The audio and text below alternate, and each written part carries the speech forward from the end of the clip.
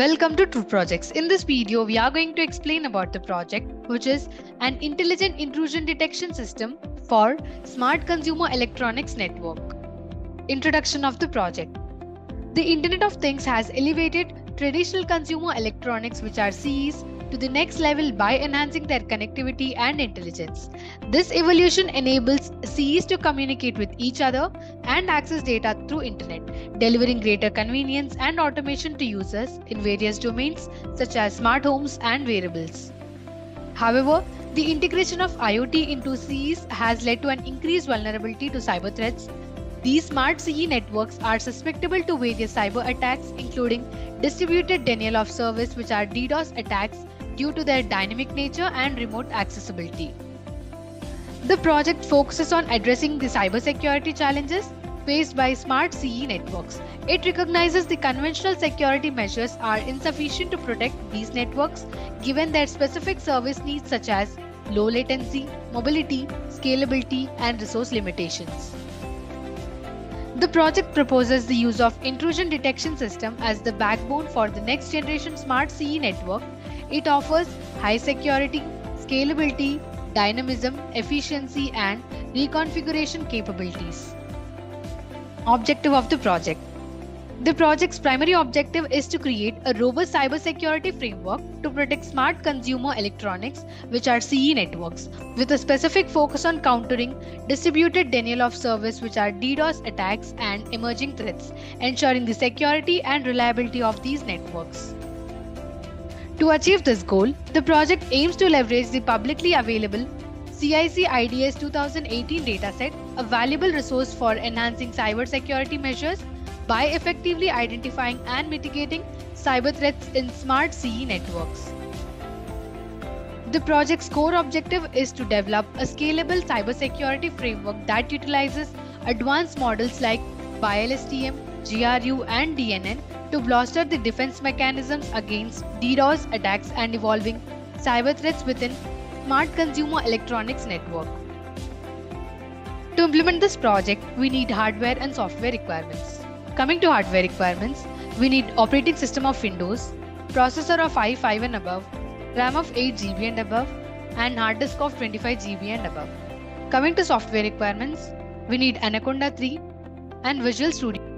To implement the project, we have designed various modules in the flow of work. The first one is importing the packages. In this module, the necessary libraries and packages are imported, which are NumPy for numerical operations, Pandas for data manipulation, TensorFlow for deep learning, Matplotlib and Seaborn for visualizations, and scikit-learn for machine learning. Exploring the dataset.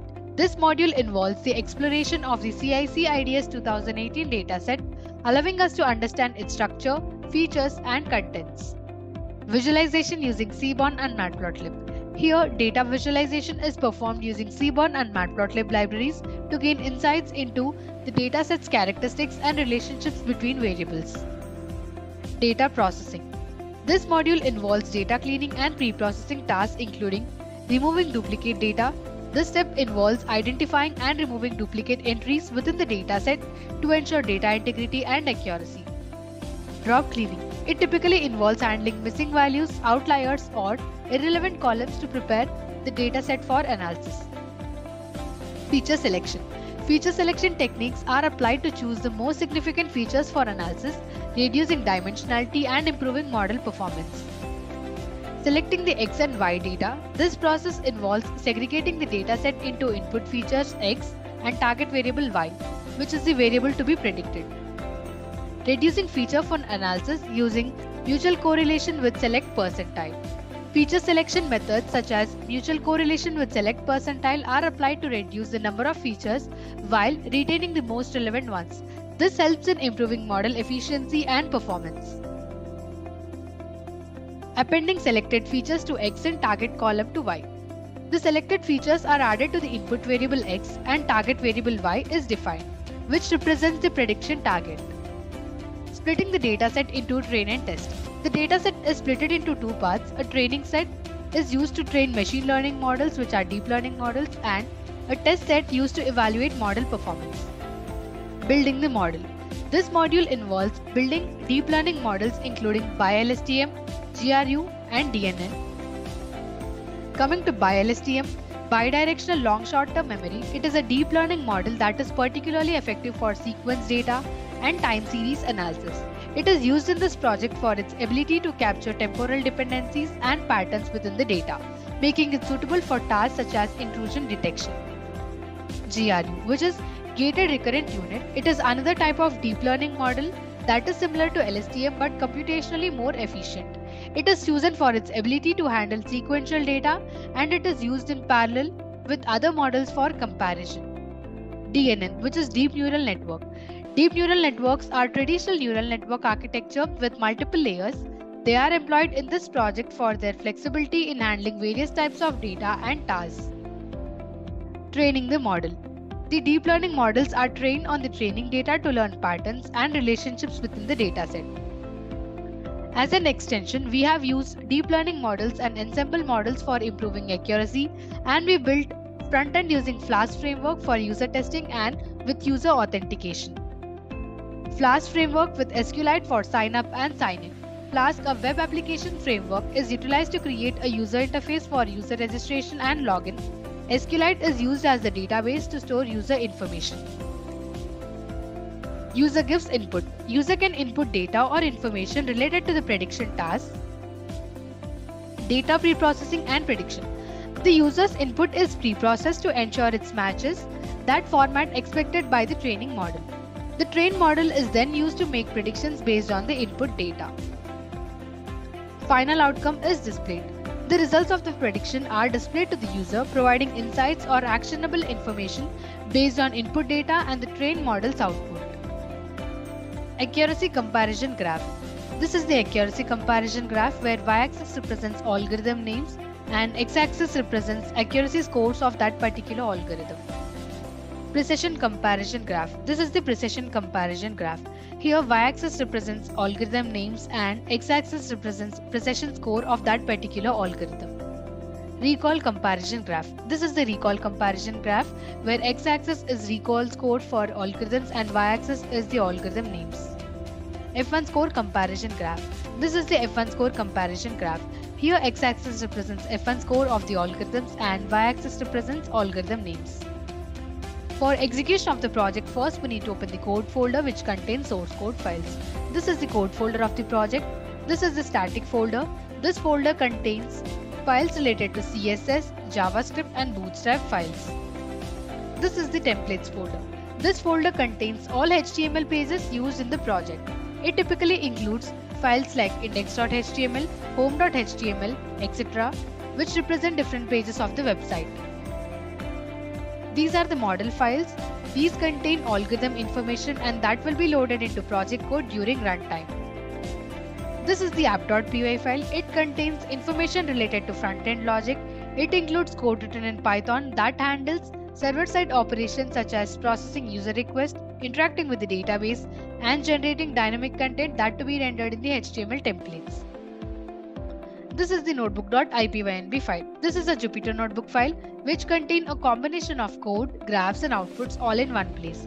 It allows users to write and execute code in individual cells, making it popular choice for the data science. This is the signup.db file. This file is the database file used to store the user information. Now we need to copy the address of the code folder from the address bar. Open the Anaconda prompt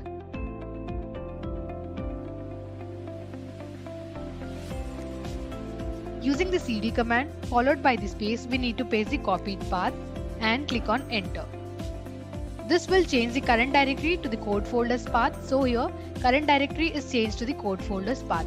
Here we need to type python space app.py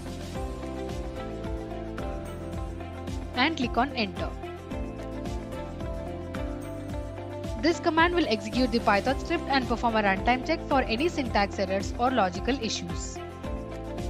After running the app.py file, the Flask framework will host the application locally at the default address, which is the localhost.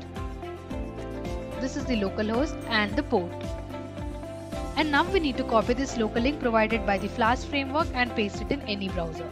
So we'll copy this link and open the Google Chrome. And here we will paste the link. And now we need to click on enter. This is the web page of the project which is displayed in the browser and this web page is built by using the Flask framework.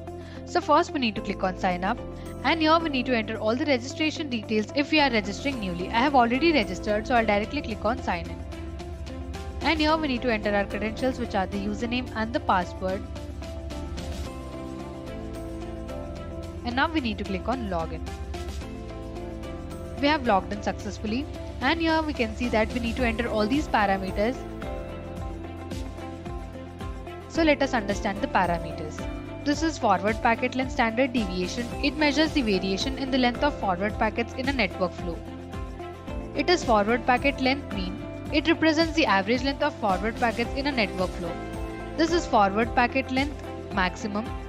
This parameter indicates the maximum length observed among forward packets in a network flow. This is forward segment size average.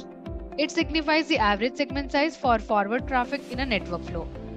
This is packet length standard deviation. It measures the variation in the length of all packets in a network flow.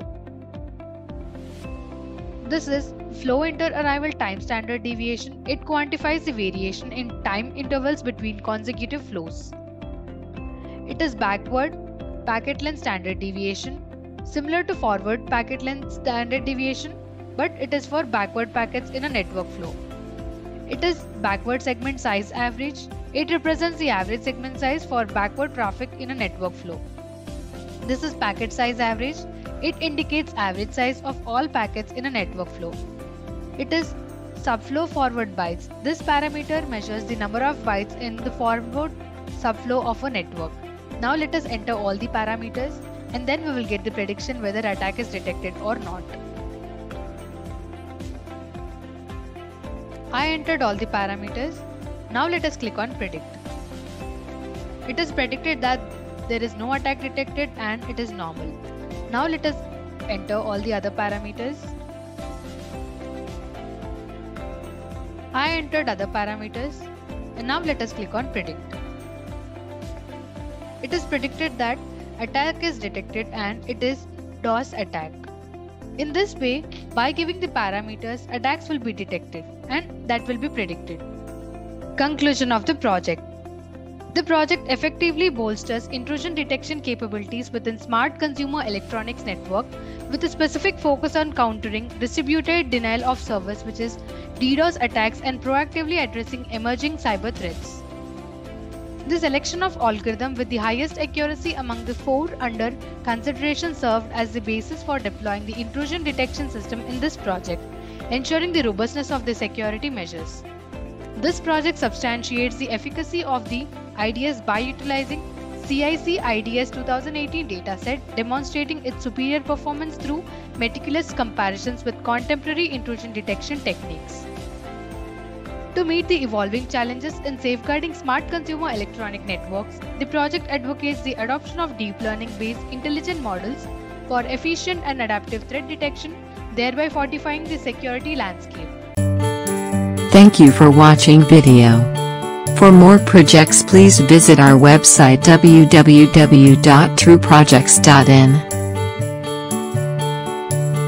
For updates on latest project videos, Please visit TRU Project's YouTube channel and subscribe.